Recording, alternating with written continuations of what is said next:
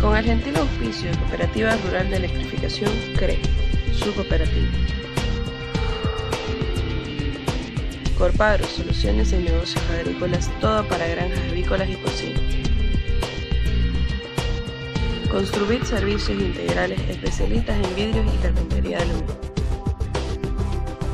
Supermercado Fidalgo, barato de verdad. Presentamos un minuto en la historia cruceña.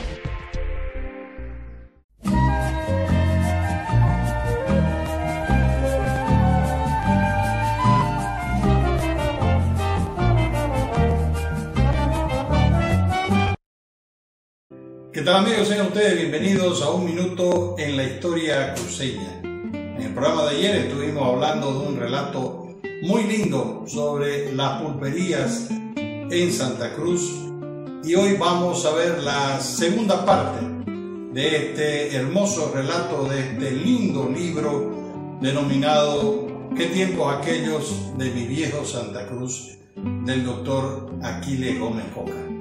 Sin lugar a duda, y lamentablemente el doctor eh, Aquiles Gómez no pudo ver la obra impresa.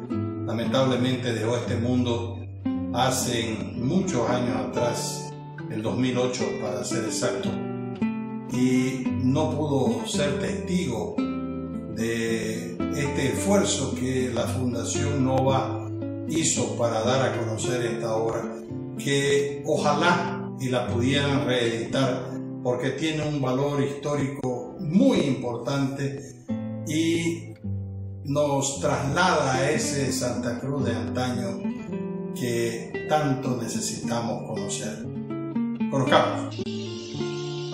Algunas pulperías, a manera de no desprestigiar sus negocios, surtían sus ventas con remedios de uso popular como decir aspirina, cafiaspirina y ginioles en lo referente a los aceites de mayor demanda, tenían aceites de cusi, totaí, majo y otros que la gente usaba para hacer brillar la cabellera y también decían que era bueno para encrespar los cabellos duros y rebeldes.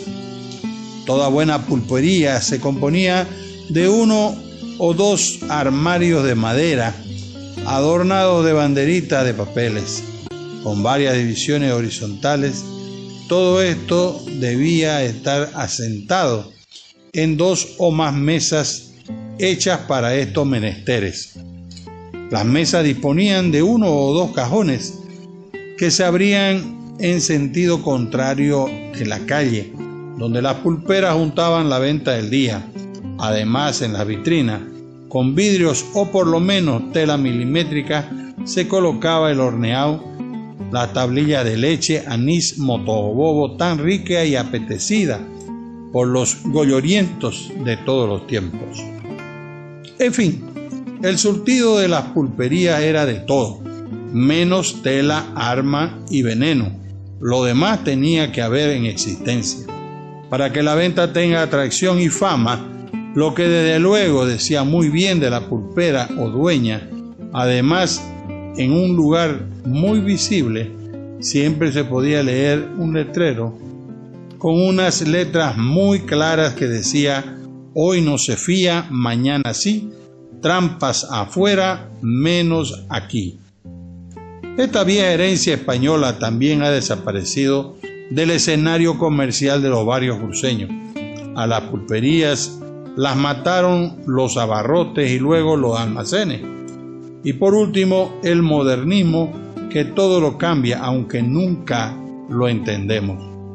Como decir los famosos advenedizos snack, tan en boga y diseminados en este pueblo que mastica chicle desde que amanece, baila rock y se deleita jugando racquetball. Y en vez de jugar con tierra y un palito, se divierte jugando golf y otras gringadas que todos los días tratamos de remedar y luego hablamos contra el imperialismo.